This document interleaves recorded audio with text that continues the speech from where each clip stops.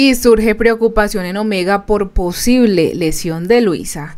Como ustedes saben, estamos en un nuevo ciclo, el desafío de tres equipos. Luisa, quien antes era de beta, ahora está en Omega y ayer tuvieron una prueba de contacto donde los participantes tenían que meter unos goles con las manos atadas, lo que hacía que sus piernas se exigieran al máximo.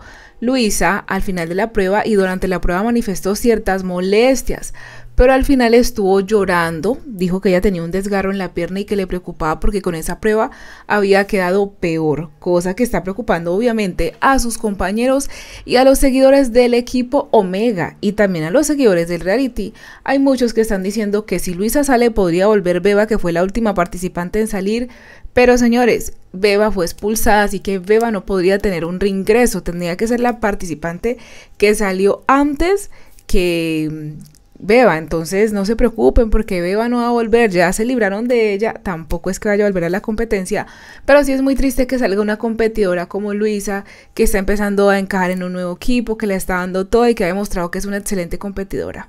Pero esto pasa mucho, sabemos que en todos los desafíos siempre sale gente, reingresa y siempre son por lesiones. Esperemos que no pase a mayores. ¿Qué opinan ustedes?